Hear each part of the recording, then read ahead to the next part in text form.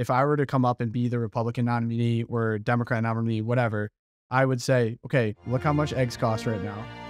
Look how bad inflation was this past year. I think it was like 14%, something crazy. Tom, you sound like you're running the Republicans' somewhat failed campaign of 2022. I mean, like, oh, What? eggs are expensive, inflation, vote for us. No. Like, what? No. Well, okay, what would you do? All right, welcome back to the Loopcast, Catholic Vote's weekly rundown of all things faith, culture, and politics. If you're new here, make sure to hit subscribe, turn on notifications. With that being said, let's get right into it. 2024 is heating up. It's no secret. We see each hopeful kind of doing different things at this point. We have Biden overseas in Ukraine. We have Trump in Ohio coming up this week. And then we also have DeSantis, who hasn't announced his run yet, making some trips to Long Island, to Chicago, and to Philly. So, Josh, you're kind of a politics nerd. It's no secret at this point. What do you think all those people said? And and I have to mention, what are your thoughts on Nikki Haley? Ooh. Well, she did announce this week that she's running for president, and I think, um, you know, she's got the defense industry on her side because she's a very much a strong supporter of America going to war. Um, and so, uh, I'm not a big fan of Nikki Haley myself. She she made a comment right after the whole George Floyd, um, you know, his death and the subsequent riot. She said that it needed uh, it needed to be painful and personal for a lot of Americans. And I think a lot of Americans are thinking to themselves, um, you know, obviously justice needs to be served in this case, but why should it be painful and personal? So it just feels like she rides the wave of a lot of political correctness, I think. So uh, I think people are going to definitely, you know, I think as uh, Catholics and other uh, conservatives and Christians look at the race, uh, I mean, they'll certainly give her a look, but I think she's going to face some scrutiny for some of her past positions. Um, but when you mentioned Trump going to Ohio, it's not just that he went to Ohio. I think he was very clever. Trump, you know, went to East Palestine, uh, Ohio, where the site of the train uh, accident, and he was, you know, trying to raise the emphasis there um, and and contrast that with Biden going to the Ukraine. Um, Biden went to Ukraine before he came to Ohio. I mean, where Mhm. the where that disaster was. So I think that's a good contrast for Trump. Uh, it's a lot better for him to focus on stuff like that uh, than to be basically screaming on his own little uh, Twitter uh, redux, whatever you call it, Truth Social thing. Truth social. Uh, like the extent that he completely whines about the 2020 election and doesn't focus on the future, that's not good. When he's doing stuff like this, where he's going to Ohio to, to paint that contrast, that's good. That's very good for him to do that. And I hope he does more of that because Yeah. uh, that it's actually value added. Right. But it's interesting the way the race is shaking up. I think we pretty much, I mean, everyone just assumes that Donald Trump, because he was a former president, he's the front runner. But I'm here to tell you today that that's actually not the case. Uh, Ron DeSantis is the front runner, and I'll tell you why. It's not up, it's not my decision on this. It's that you can always tell who is the front runner by who the other candidates who want to be the presidential candidate are attacking. Right? exactly. So Mhm. this last week, we saw South Dakota Governor Kristi Noem attack Ron DeSantis. We saw former Maryland Governor Larry Hogan attack Ron DeSantis. And we saw New Hampshire Governor Chris Sununu attack Ron DeSantis. All these three candidates are considered themselves, you know, potential candidates for president uh, in 2024 as a Republican candidate. And of course, Trump has been attacking Ron DeSantis for months now. So you, you you start to think like, wait a minute now, is it really the case that Trump is the the front runner? I think actually it's pretty obvious now that Ron DeSantis is a slight front runner because the people who are wanting to become the nominee are attacking the guy they think is in the in the top position. They got to get him off that pedestal so that they can be the number one candidate. So who hasn't even you know, I just look at the reactions of what people are doing. they're all they're all attacking a guy who hasn't even announced for pregnant for or hasn't announced for pre not pregnancy. Jeez. Not Well, pregnancy. Ron, yeah. Ron Gosh. DeSantis is not pregnant. Yeah, Yeah, no. not yeah, pregnant. No. definitely not. No announcements. He's not pregnant, but uh, yes, he hasn't even announced his presidency yet. because men and can't so get to pregnant. see so many people, right? yeah, exactly. Just thought I'd to see insert so many people attack a guy who hasn't even announced yet, I think makes it pretty obvious who the front runner is. And I think to dive deeper well, into what he's not- been doing, on its own is not enough, right? I mean, Well, just correct. the fact if there's a few attacks here and there, but Correct. the fact that all these candidates are attacking Ron DeSantis, it makes it pretty clear that he's the he's the top dog right now. Actually, Mhm. Yeah, and to dive deeper and like so if we want to paint the picture here, all of the front runners were doing something different. What what Ron DeSantis chose to do in that time was to go visit Staten Island, to go visit Chicago and go visit Philadelphia. What all Mhm. those places have in, in common is that crime, violent crime specifically, has been up substantially in those places. Right. Going there and making the pitch saying, hey, in Florida, we treat our officers with respect. We'll give you a bonus to come down to Florida. But not everyone can come to Florida, but we need to see this kind of change in the country. So, do you think his pitch to law enforcement is seen as authentic and passes the smell test, I guess, for most of the country at this point? I mean, everyone knows that Ron DeSantis is doing that because it's basically using his office as you know governor a, a legitimate purpose. He is actually trying to get people from Chi- the Chicago Police Department to move down to Florida. Lots of them have. Mhm. and also, as you say, Philadelphia, New York. But it's running for president without having to actually run for president. Yeah. So, it, I mean, this is not the first time this has been done. I mean, people have done, I mean, this kind of stuff happens all the time. Uh, but he's he's doing it in a very ingenious way. Yeah. I said this Yeah. to Tom before the show. I was like, tell me you're running for president without saying you're running for president. And that's pretty much what happens there. Yeah. Yeah. I mean, Donald Trump made the actual announcement to run for president again, and he did it very early. And his intention for doing it was to try to, you know, scare anyone else from running in, in, in the race. That hasn't happened so far yet. I mean, you know, Nikki Haley decided to toss her hat in the ring. The question is, is she actually running for president or is she just running to be the vice president under one of the other people running? Yeah. You know, she's going to have to convince people that she's got enough of a campaign, enough of a message, and, you know, and money. So to to be able to you know, put together a national campaign.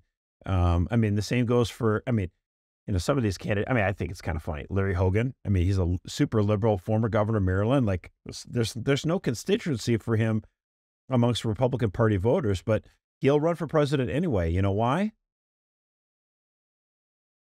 he wants to make money, right?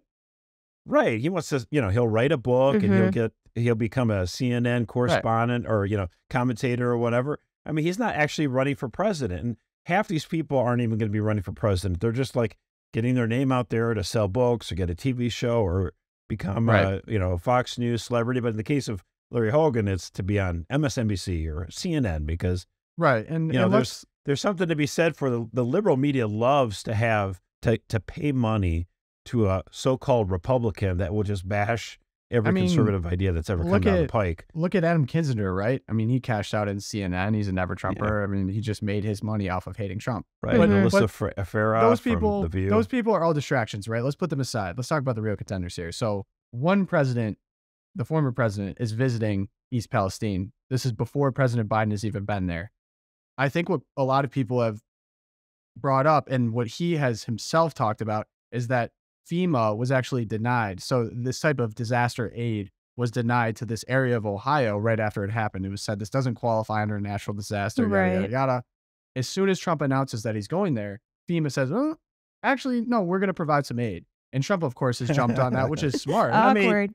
In one sense, I can understand that, like, it's not a natural disaster like a hurricane. So I can kind of understand that. It's a But it- disaster. you're totally right that as soon as Trump announced he was going there, oh, they, they, made were a like, 180 and they realized this is bad news for us. We're us. sending a and what does that, I- what does that was- reveal? That just reveals that it's it's political games, right? I mean, you say, okay, maybe it's not natural disaster, but the fact that they could just flip all of a sudden is it threatens them. It's like, okay, Did yeah, you no see- FEMA applies. it was such bad optics. see- It was such bad Horrible. optics Did- with him. Yeah. Did you see the meme that Senator Rand Paul sent out? You know, right after Ohio got its That's a uh, sentence. request denied with all this aid. Uh, there's this picture and it showed the uh, Ohio governor and then a cutout of his of Zelensky's face over his face. yeah.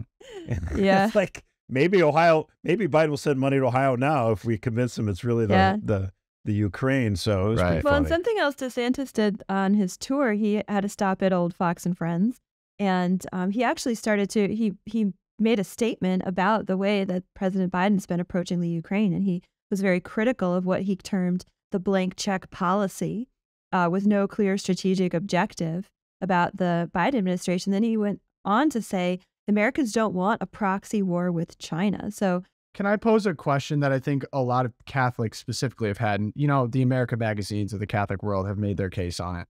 But Ukraine, right? What is the what should a Catholic think about the situation in Ukraine? We're a year deep at this point. There's some people that are like, oh my gosh, we absolutely need to support monetarily, militarily, boots on the ground in Ukraine right now. It's the right thing to do. It's it's the Catholic thing to do. And then there's another camp of people who are like, I want nothing to do with Ukraine. You know, there's parts of Russia that are like, we don't understand Eastern culture. We don't understand that conflict at all. There's corruption on both sides. So what's a prudential way to think about this matter and what are both sides presenting as you know the way forward so i think with the blank i'll go with the blank check catholics sort of on the first extreme to start with the the temptation with that as with like amnesty for illegal immigration and all that the temptation there is that catholics start to think that the most charitable the most compassionate response we can have as americans with Ukraine is to just give them the blank check and continue to fight against the oppressor um, in any way that we can. I don't think that that's applying our prudential judgment and our critical thinking, that there are other ways. There's nothing compassionate about not having an exit strategy and about saying, okay, America, we're just going to drain American resources in order to support this war over there. I think there has to be a lot more nuance to the way that we think about it than just the blank check approach. Yeah, it kind of reminds me a little bit of the Iraq war in that we went in there gung ho, pumped up, throwing Americans in the mix, and we leave, you know, 10, 12 years later completely depleted. Or Afghanistan. Americans died over there. We leave with yeah, nothing. Afghanistan is, is what I meant rather. Mm-hmm. And, yeah. And it's reminiscent in that, like, if we're pro- prolonging conflicts like this, to which there really is no end. It, it doesn't really leave with any meaningful change. And so yeah. I think the blank check strategy does kind of exacerbate, like, oh, whatever it takes. Like, to be honest, would you be oh. willing to send your sons overseas right now in well, a conflict that we're not involved so in? No. I'm going to answer the answer to that is no for me. I mean, I'm not willing to put American boots on the ground. And I don't know. Does that make me a bad person? Does that make me a bad Catholic? I don't know. Yeah, five years, my son would be old enough to to fight you know, if there's something happening in the Ukraine, and I, I absolutely don't want my son to go to the Ukraine. The thing is, you see changes in political parties over time, right? So the the most recent memory with regards to like war is, as you said, Afghanistan and Iraq. Because of George W. Bush, people started to associate Republicans with being pro-military, which we are pro. We are pro people who serve in the military, certainly. that still remains the case. But they assumed that Republicans were the ones that were in, interventionists. They wanted to go start wars in foreign countries, right? Well, actually, you know, Donald Trump's nomination in 2016, he, he, as he's running for the nomination, he was slamming that every turn. And a lot of Republicans are still like, well, wait a minute now, because they were just so used to defending what George W. Bush did for so long. And Trump just kept hammering in that. And actually, so I give uh, Trump a lot of credit for that because he's he was returning the Republican Party more towards a skepticism of overseas adventurism and, and military conflicts. Uh, it was kind of funny. Someone started this on a little uh, Russell on uh, Twitter a few days ago. Good guy. He's like, well, I don't understand. I mean, I don't understand how Republicans and conservatives now are so against interventionist wars. It seems like a very new thing because he's remembering, right, the early part of the George W. Bush administrations where we're just after uh, post 9 11 war after war. Mm-hmm. Right. I said, actually, you know, listen, it was, it was, uh, you know, Bob Dole ran for president, vice president in 1976, right? He was Ford's nomi- uh, vice presidential nominee, and he was criticized for saying this. He he said he he attacked the Democrat wars uh, meaning World War II and Korea, and he was denounced for this. Mm-hmm. Uh, but the and Vietnam too. And the idea was, you know, he said if you could take all the dead from these Democrat wars and fill the city of Detroit. I mean, it was just amazing. And so, like, you start looking at the history, like Taft and some of these, they were they were called uh, intervent, they were called um, isolationists because they weren't in favor of certain wars. Now, I'm not saying I'm against all wars. I think World War II is justified, okay? And look, you know, Korea, uh, you know, Vietnam, maybe not so much a, a good idea, but certainly Afghanistan, Iraq, I think a lot of people woke, uh, saw their eyes open and realized we're getting ourselves way overextended here. And so, you know, you know, Joe Biden is basically saying, as you say, just like keep whatever Ukraine wants. We're apparently just going to give them an unlimited supply of cash Right. and weapons. I guess the rationale behind this, which is never really stated publicly, is that you want to try to drain the treasury of Russia and just just get them bogged down there like we were in Afghanistan, like Russia was in Afghanistan in the 1980s. So that's maybe what they're trying to do. But like, I don't know, is that a good policy? Do, do we really want Russia more impoverished? You Mhm. know, so I, I Yeah. And I'm we're dependent on China now too. what's China throwing its hat into the ring. We're not just talking about draining Russia. We're also talking about leaving a vacuum that will be filled, and it will be filled. Apparently, at this point, it looks like China. So I yeah, think and that's what I'm just skeptical about that. I I- think I think China's going to ultimately kind of hold off, but But I We'll see. so I just wanted to bring up the point too. I don't think there's anything charitable or uh, prudential about starting a nuclear war, and specifically by President Biden going to Ukraine in Ukraine a year on the anniversary, knowing that Russia would be upset about that, kind of throwing a middle finger their way. It just doesn't really make sense to me to try to push. You know, why are we pushing dogs to get desperate? It's imprudent. But I don't Mhm. think Putin's going to launch ICBMs over it. Right, but even so, why are we like even the threat of a Don't nuclear poke the war? bear, right. Don't, poke, the bear. the So bear. Yeah, I don't know. Like there, it's a very complex. It's very nuanced. But all of that aside, I think a winning strategy for someone right now, if I were to come up and be the Republican nominee or Democrat nominee, whatever, I would say, okay, look how much eggs cost right now. Look how bad inflation was this past year. I think it was like 14%, something crazy. Uh, you can't afford to live. Uh, and the current president, guess what he's doing right now? He's overseas. And how much money have we spent overseas this past year that could have been spent I don't know, fixing Yeah. our railways now that there's all these accidents. Tom, you sound like you're running the Republicans' somewhat failed campaign of 2022. I mean, like, Oh, ouch. What? eggs are expensive, inflation, vote for us. No. Like what? No. Well, okay, People what would you do? Pe- people people are we're now at a point where we're almost everyone is culture voters, left and right and center. And so what you need to do is respond to those questions. You know, you don't run from I'm not saying you are running from it, but a lot of Republicans are like, we don't want to talk about abortion. I take that we don't want to talk about I we don't want to talk about Ukraine.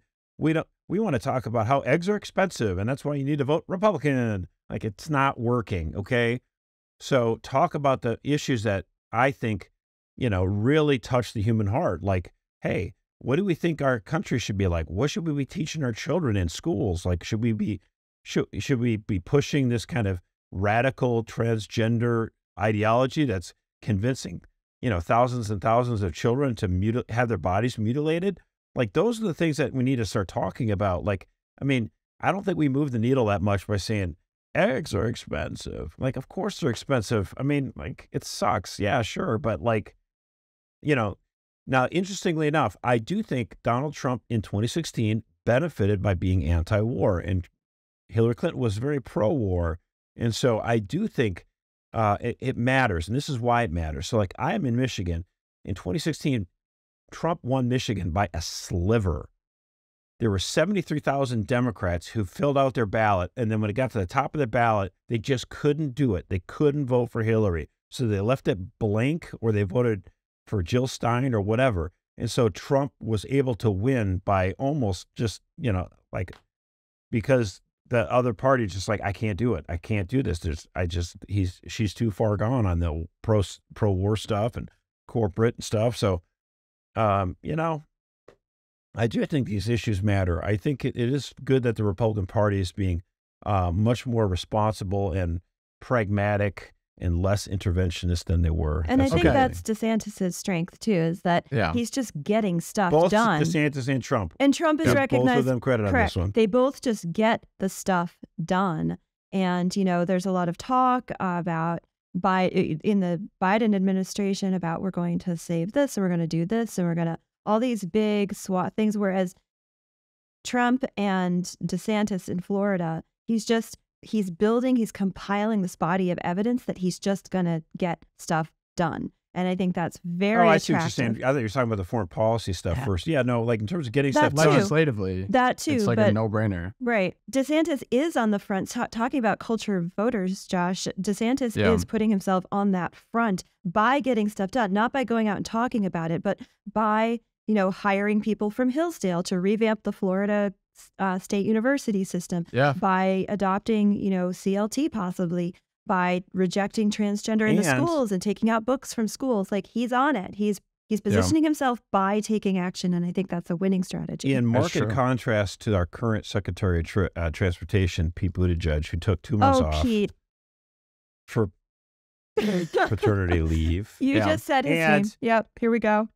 Yeah, and and and then you look at the train derailment in Ohio and several others across the country, and like bridges, you know, are just in a state. And it's like, didn't we pass a trillion dollar infrastructure bill to help with this? Yes, And you did. look then at what happened at the hurricane that hit Florida, and Governor DeSantis and his team was able to construct Right. a, a bridge like in three days Mhm. to get needed supplies to this people that were you know on an island they couldn't get it to it.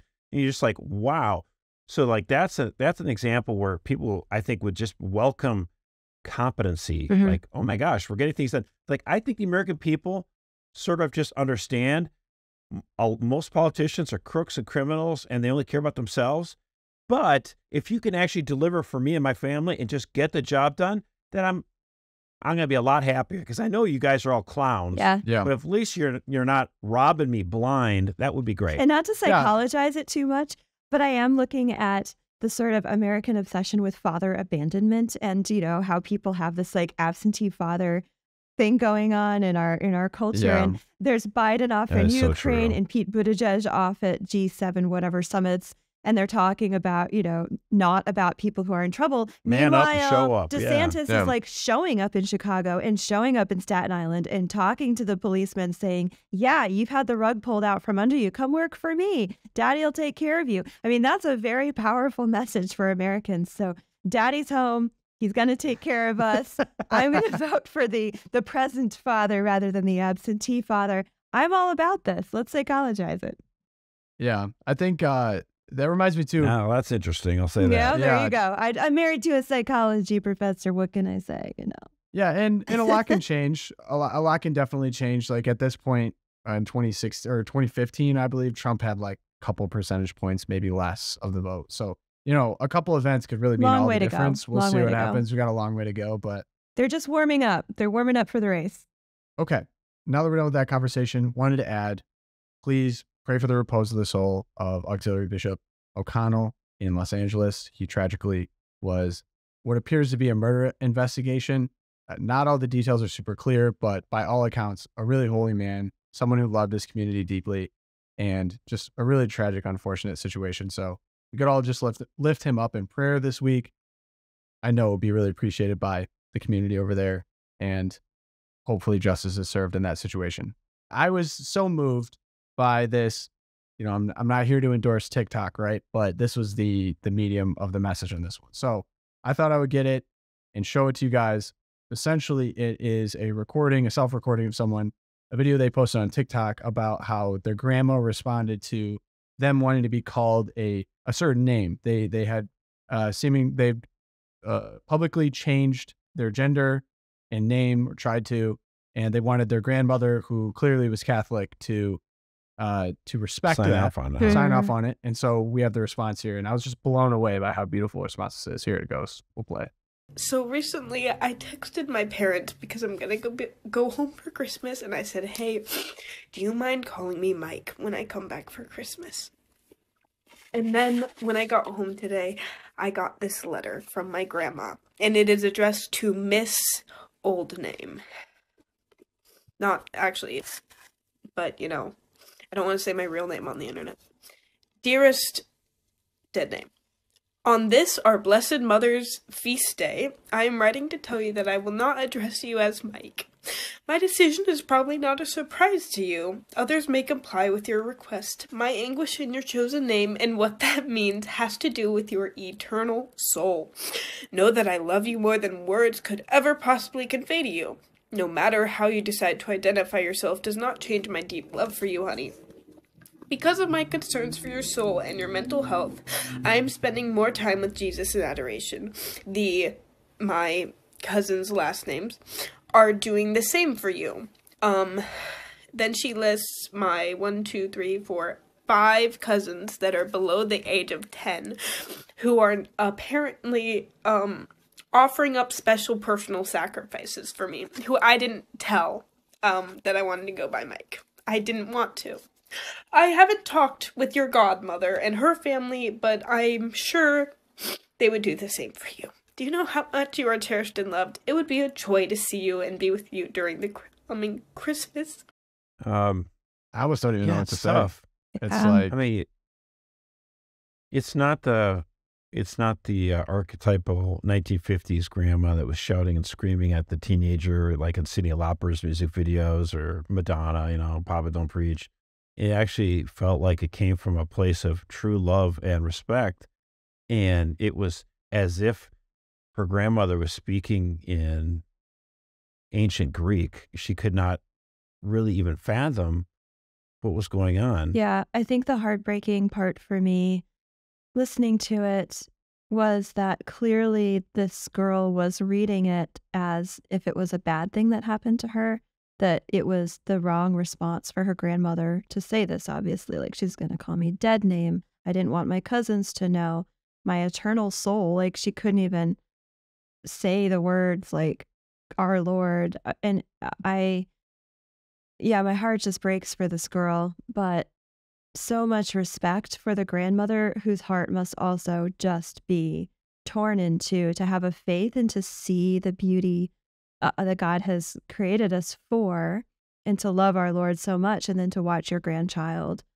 go through this um it just must be the, the greatest pain you know yeah. um, But again, I think it's it's it's noteworthy that the grandmother wasn't calling her a sinner No, or screaming said at I her. Love you I'd love to see you at Christmas I do think that's something that we've learned, you know, over the last 40, 50 years. I think like 40 or 50 years ago, the thought was, hey, I if I yell at you and shame you and wag my finger, that maybe you'll snap in, you know, in line.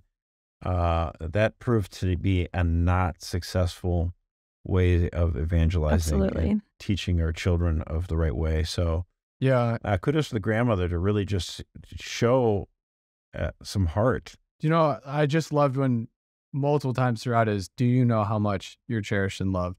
And what's beautiful about that was not only obviously from her grandma by how she wrote that card and how she was excited to see her on Christmas, and but also because she's cherished and loved by God.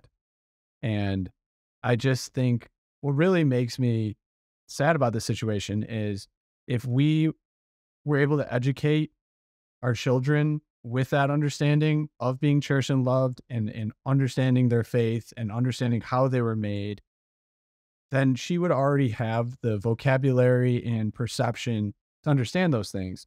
But unfortunately, clearly, she was either educated or received most of her influence from the internet or from her public school or even her private school or Mhm. wherever she's spending most of her time Yeah, pop culture has right. basically set the vocabulary and the perception of how she should understand herself.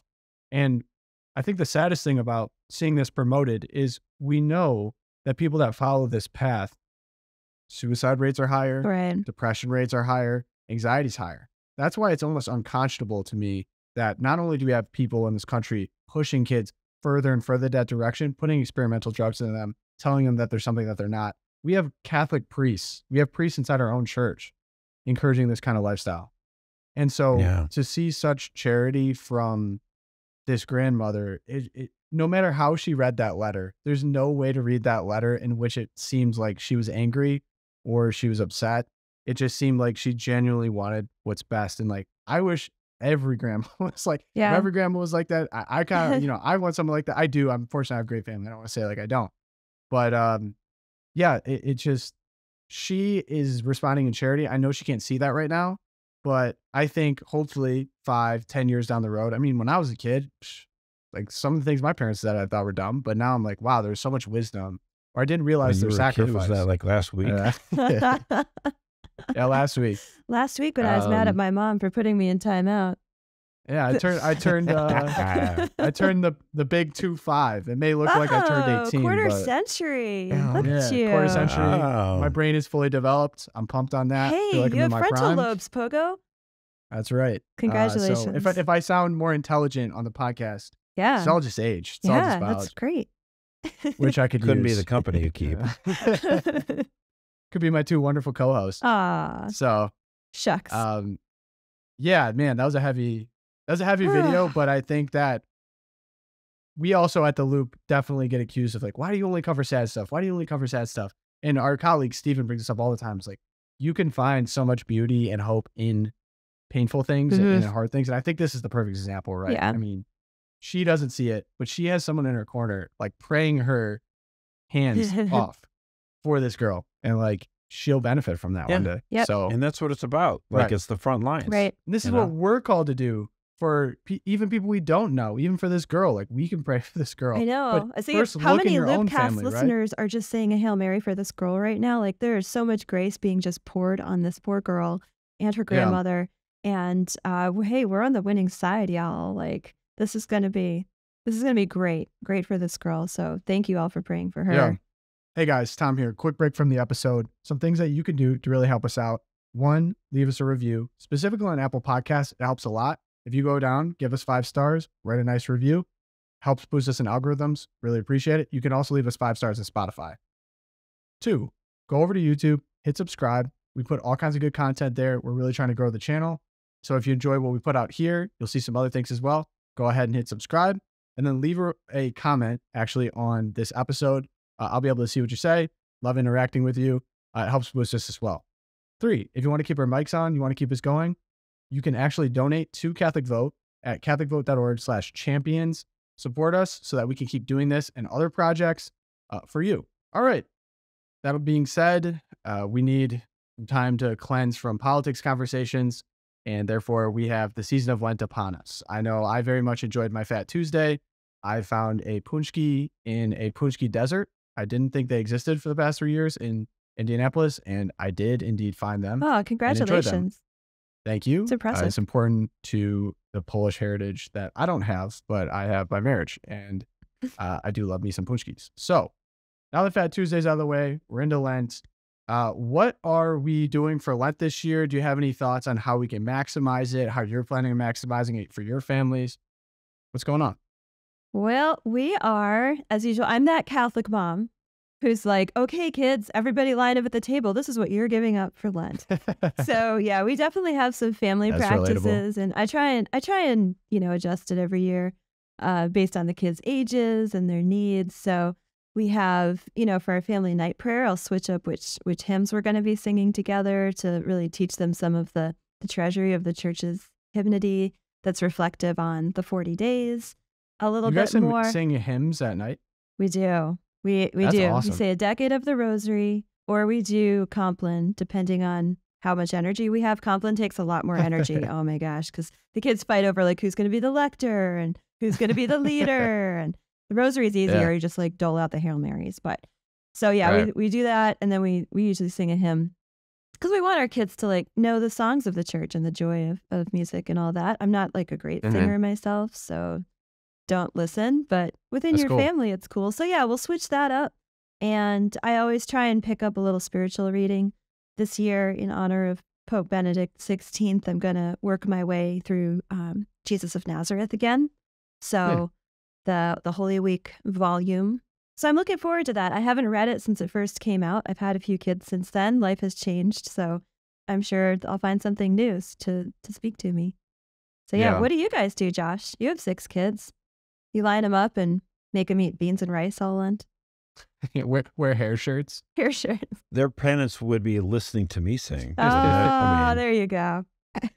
Dad will sing to you a lullaby every night of Lent. obviously we do the traditional Catholic thing where you give something up for Lent. Um, I I think that's important to start with, and then I I try to also make sure that we're doing something in- in addition. You know, obviously spiritual. So you know, we kick up extra prayers, like, hey guys, you know, let's let's do this, let's pray. And my little Elizabeth, she's our great intercessor, and and she likes to she's got like a list now. She's only seven, but her list is like 40 long. And we're going to pray for, for Tony. And it's like, I, Who's Tony? I might mention it. What? I don't even know. We mentioned it. Someone who needs prayers like offhanded like 30 days ago and she remembers it. God bless her heart. Aw. She's got such a beautiful little soul.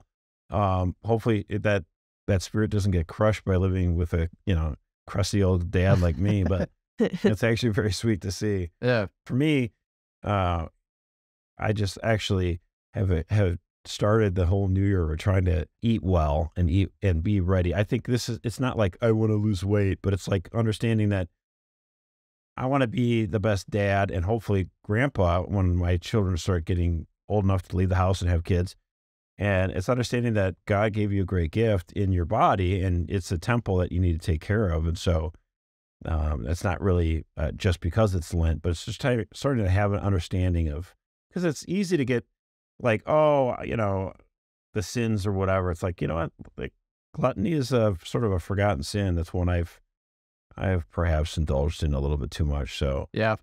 you know, it's just trying to look at what you know your every day, every way, what you could be doing better, and try to just root out sin, ways that you're going to disappoint the Lord. yeah. You Yeah. know, try to and do I that. think like ways of rooting it out, I definitely struggle in our job. We're obviously on social media all the time, but I find it a struggle when I'm outside of work hours to tune down the social media then because I find that I'm going back and checking and checking and checking. And so for Lent, just setting some like serious parameters on the hours that I'm checking social media and trying to get a handle on what's necessary for the work that we do and what's just me indulging in escapism. Yeah. So that's It's a big goal line. this Lent for sure. It is. It's a tough line, especially tough in our line line of work, right?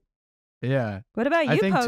too. What's oh, going on? What's going on with Pogo? I'm on the hot seat. Well, so it's funny. I was talking to someone about, you know, what are we doing for Lent? And I, when I think of Lent, I think of uh, traditionally like the three pillars would be Mhm. uh, something spiritual, uh, giving something up uh, that's like a, a physical uh, comfort, and then also like almsgiving.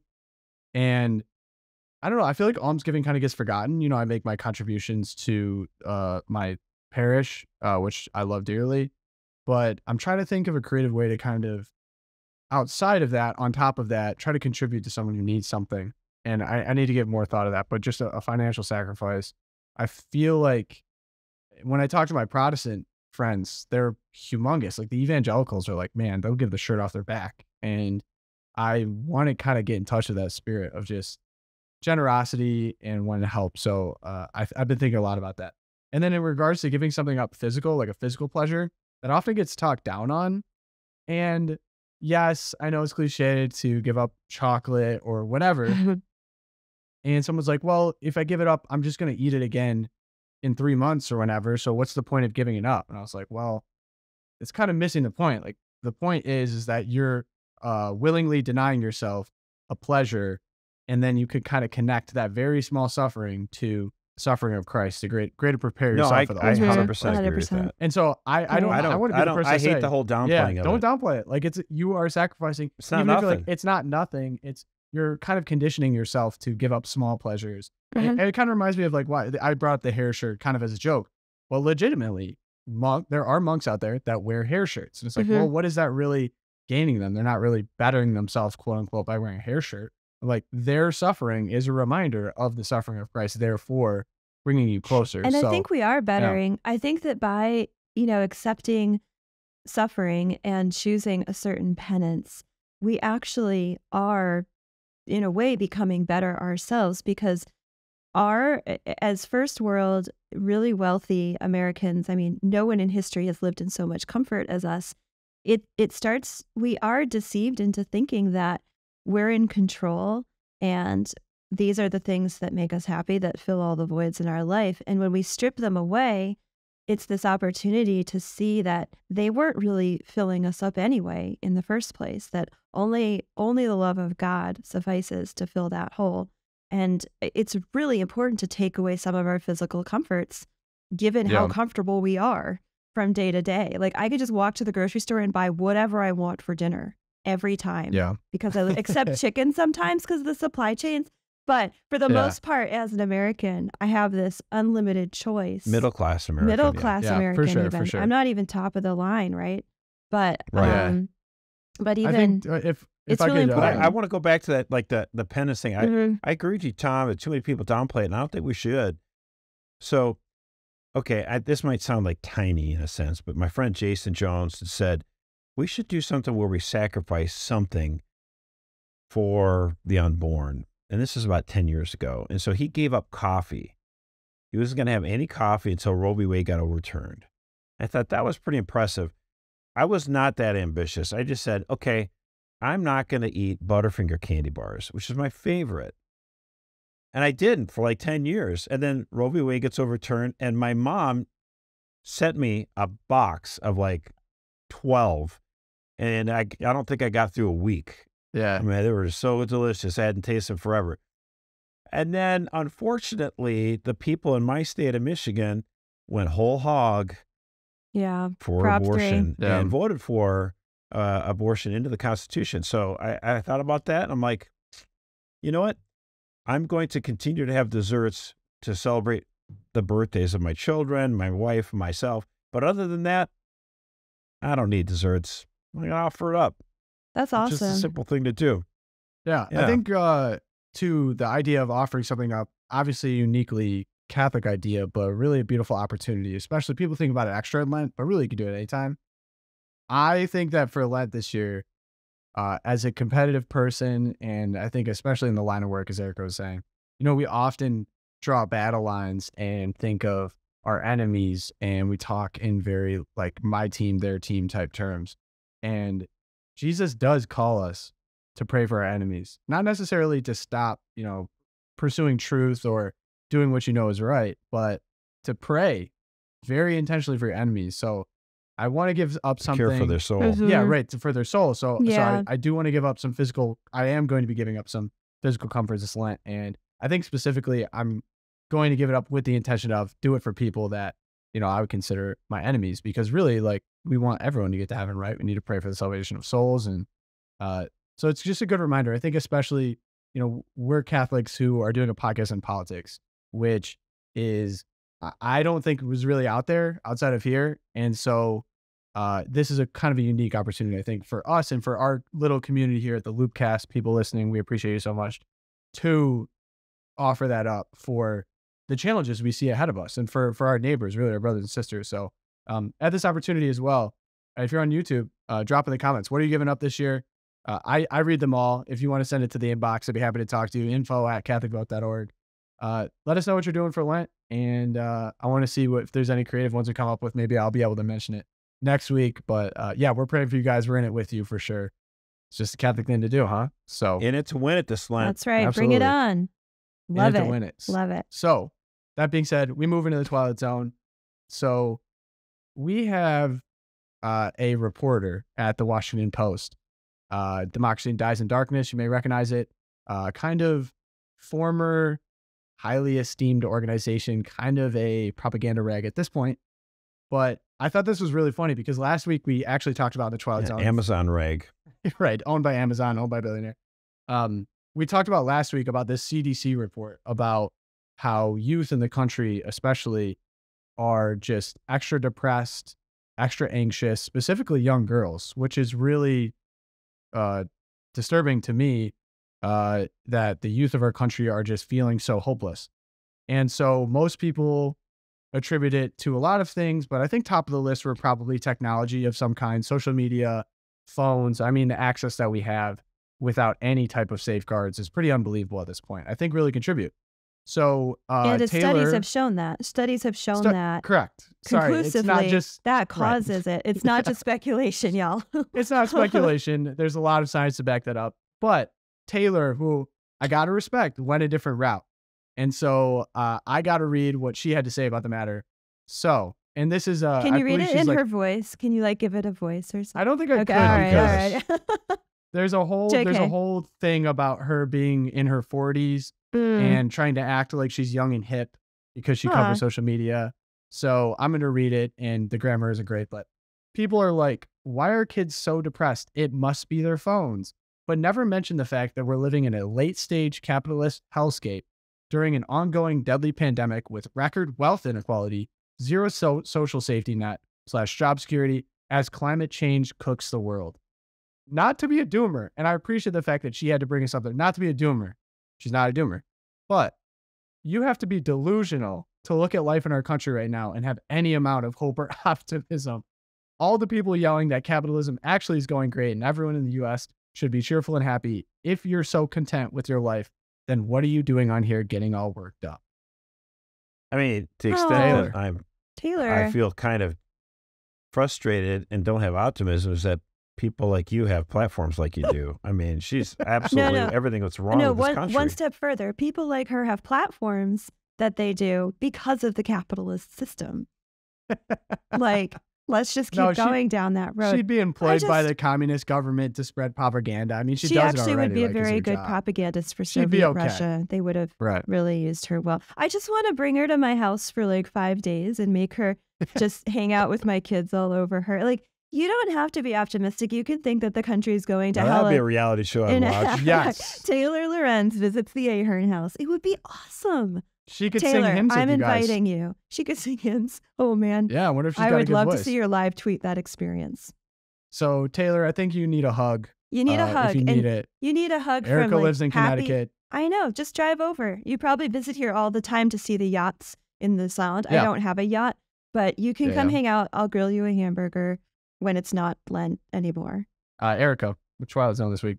Oh man. Well, speaking of grumpy older women, I was just reading in the in the Washington Examiner, we had a, a group of rainbow mask wearing women denied communion at Denver area Catholic Church. And this is uh, yeah, you know, people like Archbishop. Cordileone, who almost a year ago now, he told Nancy Pelosi not to present herself at Holy Communion. Uh, she had separated for herself from the church, and he was all accused of politicizing the Eucharist. And how dare you use the Eucharist as a as a baton to beat poor Pelosi with? Well, now these women show up uh, wearing gay pride themed masks to mass, and when they presented themselves to the the priest, he just waved them on. As you know, most of us have probably been at masses where hopefully you've seen, you know, a priest do that in a very loving way, not in a angry way. Um, but then they then they went to the press with it, and it's all over the local newspaper. The local news covered it, and they're all like, "We're the victims, and we didn't mean anything. We just showed up to show support for this former teacher at the All Saints Catholic School who had been fired because she had entered publicly into a same-sex relationship, violating the contract she had signed with the school." And they're like, "We were just." showing our solidarity for her and we just we weren't politicizing it and this priest politicized it it's just the ultimate gaslighting the priest was just upholding the teaching of the catholic church kudos to him and shame on these women for going to mass wearing masks that mean something and don't tell me Okay. we were just showing up yeah but our church really needs to do a better job. Like the priests, I'm not going to pick on this one priest in particular, okay? But if we had Catholic priests on a routine basis explaining what it means to be a man and a woman and what the church has an understanding of human sexuality and all this stuff, instead of letting the culture teach the flock and then all the kids in school like, oh, Mrs. So and so is so nice, and then why are they firing her? What? And no one has any mm, any clue because none of these kids have been exposed to Catholic teaching right on what it means. And so that's my I think my frustration with this. Like, did the priest in this case do the right thing? Yes. However, if that's all we do is the bare minimum, it drives me sort of crazy. Mhm. So it's like, you know, like, well, why don't bishops do more? Why don't priests do more? Like, well, I wrote it and I wrote a little column about it and I put it in the bulletin. Or the bishops are like, well, we sent a press release out about oh it. yeah Like, press it's not releases we enough. wrote a letter Like the culture is pounding it on these issues Mhm. and every media outlet, every entertainment show ever. And it's like, don't you understand? Like, what's going on? Why aren't you responding in kind? It's just, it's just sort of okay, but amazing really, to me. Josh, so, Josh, you shouldn't need you shouldn't need to defend yourself for people who are openly politicizing, like Jesus Christ in in the Eucharist, right? If look, someone showed at up, this moment, I'm obviously very proud of the priest. if someone showed them up in a Klan hood, Josh, if someone showed up in a Klan hood, no one would need an explanation. Mhm. They wouldn't. If And I someone think- showed up in a swastika, they wouldn't. Josh's Okay. point. But the th- I think Josh's point, though, What's the thing? is that it's very clear with the Klan to people because they've been educated about what that right, means. ninety-nine percent of Catholics are against. Ninety-nine point nine nine percent of Catholics are against the Klan or against neo-Nazi stuff. You know, that's been that lesson has been told from the pulpit and and in all the media. There's no disagreement here. Mhm. The question then is with the LGBTQ question, right? So that's that that's a question that's being presented to us currently, and there's a division in the church. Look at the numbers. Like people are like, what do Catholics think about you know same sex marriage, right? And it's not 99 to no, zero it reflects or the culture. 99 Right. percent to one. And you're saying So- it should be in an ideal world, 99 to 0. Absolutely. I'm saying that, per- yeah, the percentage of Catholics who believe that marriage should be just between a man and a woman should be landslide numbers. It should be 99%. Why wouldn't it be? Right. So I I, mean, think the Josh, story. the I think be. the story The- here, though, is that this priest who rightfully, who did the right thing in the moment at that communion line, he should not in any way be an abnormality. Because I mean, I'll be frank. In Connecticut, here in the Northeast, you can. It is easier to find a parish where you could wear a rainbow mask with absolutely no no ramifications, right? No one would say anything. People would give you big hugs, probably. It's harder to find a parish where you might even be looked at sideways for wearing the rainbow mask, right? In the in the mass, and that shouldn't. Yeah, that they should probably not have more of be an objection case. if you wore But- an American flag man. But I just think that, but the, the difference here is that these women said they did it as a protest in for solidarity for the teacher. Correct. So, so the, that's the difference to me. Like, if you're just wearing it and you're wearing it and nothing's going on, but like they intentionally stuck it in the face of the priest and said, "I disagree with your Mhm. decision, and therefore I'm going to wear this." So, I just think any Yeah, type Tom. of political demonstration like that, it's just like why there shouldn't. Of course. My, my point is, you know, like, yes, thank you for doing that. Thank you for saying that these women shouldn't receive communion. They shouldn't politicize it. I'm, I'm all for that. That's good. There's people I'm that disagree saying- with that, though. Is what I'm saying. Of course. Well, I think they're crazy. yeah. But my point is, we as a church, you know, we need to raise the bar up a little bit. Mhm. You know, it can't be that our only encounters with this is like, why did you fire this teacher that everyone loves? Like, the, it's in a sense we we win that little battle, but we're losing the war. That's what I'm trying to get yeah, at. and I do think the coverage of this was lacking in that respect. And we've talked about this before that Catholics need to start to change the perception in the culture that the Catholic Church has this set of rules. And if we break them, we can just say, oh, you broke our rules. And so we should have a carve out. Or we broke our rules. So now you have to leave teaching at our school. We have to restate it in terms of the the positive, a complete human anthropology that's that's inviting. And Helen Alvaré does this phenomenally in her book Religious Freedom After the Sexual Revolution mm-hmm. that the coverage of this even from the Catholic side was very much well the church states like and it's always the church like the church hierarchy states that homosexual acts are sinful and intrinsically disordered so the school was within its rights to fire the teacher Therefore, we're obligated Therefore, to do X. yeah, It's exactly. like- It's like, we had to do it because they made us do it because we're Catholic, Yeah. and that cannot okay. be the message. I get it. Yeah, I think Right. that's that's clear. That's what I'm enough. getting But you at. Also I think should not enough for me. weaponize the Eucharist in that way. It's disgusting. No one should Yeah, do I- that who believes I think in the I- true that was more just a visceral reaction to me of someone trying to poli- yeah, politicize sure. it. I mean, he's. But your he point was- is he more was the wounded enough of. Calvary. You don't need to do this. Right, exactly. So I that just really made me sick, and that's just like all things put aside. Like go receive the Eucharist to receive the Eucharist and not to make statements. Like it's because we need the grace. Just oh, we that- need the grace. the lowest Amen. form of trickery going on there. It's like please target something else. Like terrible. So uh Josh, moving on. Your Twilight Zone. Well, so my Twilight Zone, I mean, I'm going to combine a little bit of uh, the viewer mail. That's right, here. viewer Are you mail. with me on this one? I'm with you. So we had uh, some people that were a little frustrated and uh, yeah, yeah, about some of the articles we put into the loop lately. Um, someone named Paul M, which is actually Oh, Paul. uh, not my dad, I promise. Uh, he That he would be said, funny though. that would that be would be really, really funny if it was your dad. Your promotion of Dr. Janet Smith and her attempt to shove the Latin Mass down everyone's throat is precisely the criticism I gave in my survey comments. If you continue to promote the Latin Mass at the expense of the contemporary Mass, I will be canceling. Catholic vote from my email, despite my support for your conservative moral stances. Well, I mean, I am thankful, Paul, that you sent that in.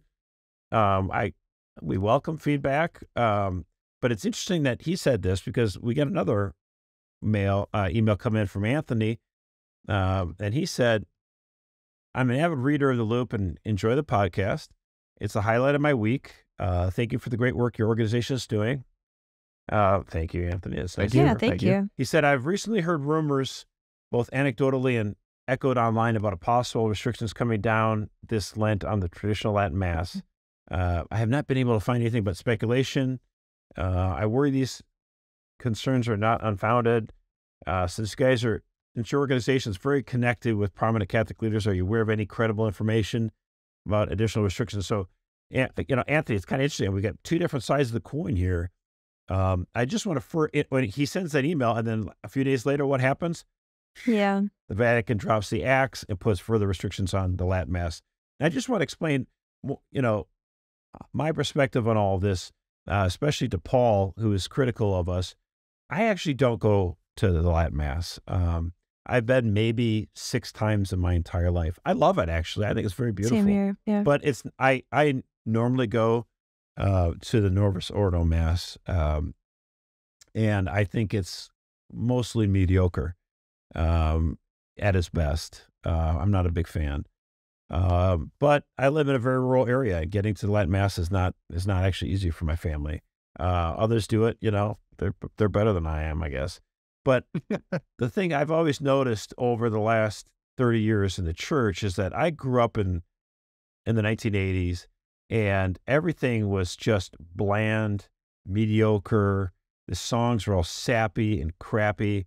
And I have always described the mass, you know, as basically cold oatmeal. It, it's just rundown, watery, terrible. I guess you can survive on it, but it doesn't do much for the soul. Uh, obviously, the Eucharist at the Mass is Mhm. uh, everything you need. Uh, uh, but I'm saying everything else around it. And people have said, well, why would that, why should that matter? You should be able to worship Jesus in a sewer. It's like, yeah, I should be able to. But in this fallen world, I'd be like, why is it dark? Why does it smell? I hate this. This is crazy. And people be screaming crazy. It's like, we don't have to worship in a sewer. We can actually worship in a beautiful building and have music that's uplifting to Mhm. God and architecture that edifies the soul. And you know, actually liturgy that's wonderful. And it can be in English. My goodness. Yes, of course. I've seen it done, Mhm. you know, especially where you're at, New Haven. Yeah. I, very I've seen blessed. it done very beautifully. But so, but I have noticed over the 30 years uh, of my adult life here as a Catholic, um, the institution, so many people in the institutional church have such a visceral reaction, negative reaction to people who like the Latin Mass. And I'm not one who does. Like I say, I don't do go to the Latin Mass. But I am disgusted on their behalf at how they get treated. Like, Yeah. Right. why? It's like j- let these people go to the Latin Mass. Like it's always the Catholic lefties, like the America types or whatever, that that preach tolerance and want to, to beat us over the head with tolerance all day long, and they're and they see someone going to Latin Mass and they want to pull out a bazooka. Right. Mhm. Calm down, bro. Like, what is the Yeah. problem? And so Pope Francis is right at the top of the list.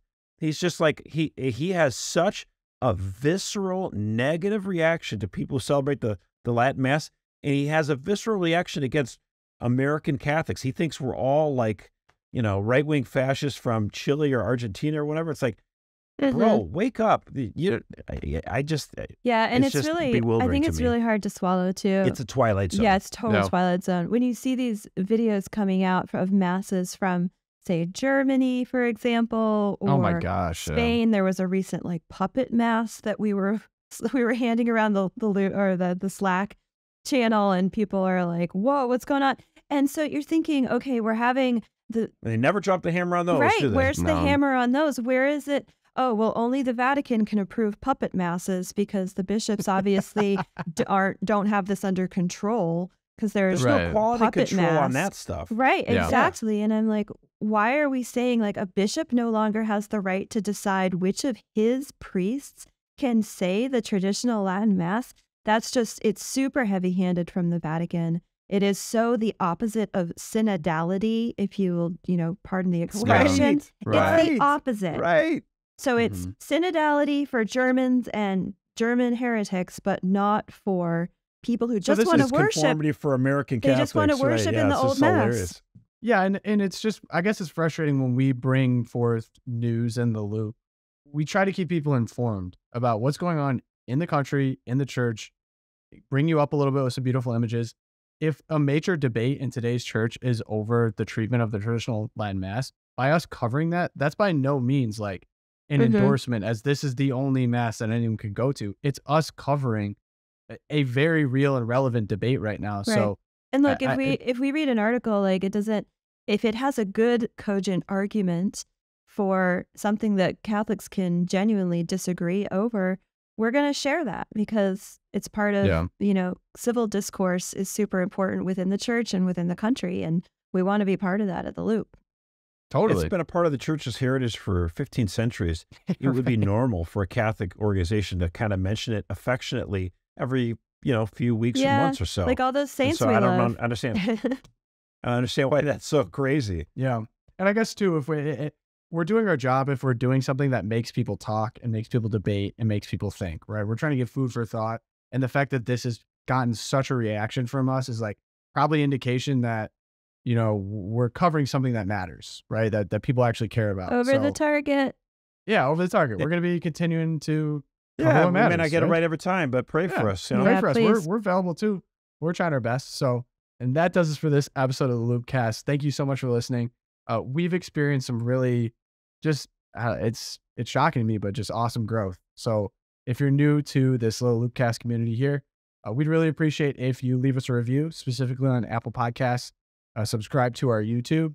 Uh, we really appreciate it. It helps us reach more people and make sure that you're getting each episode uh, with each new episode. Also, I love hearing from you. I mention often I do go through the inbox. If you'd He like to email them me, all. He I reads read them every all. single Well, one. yeah, of course. Yeah. You read some of the mail. Yeah. On the, That's on right. podcast. we had a little mail on the cast today. So that inbox is loopcast at catholicvote.org. Love to hear from you. And uh, we're praying for you guys. And we'll see you on the next one. Take care, guys.